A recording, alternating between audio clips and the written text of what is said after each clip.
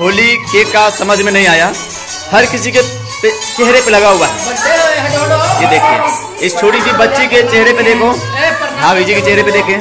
दीदी दीदी धो लिया है लेकिन ये देखिए, भैया, बर्थडे बॉय हमारे। और ये चरण स्पर्श करते हुए, फुल आशीर्वाद लेते हुए, आप दोनों दीर्घायु जी, अखंड सौभाग्यवती रहे। और मुझे देख लीजिए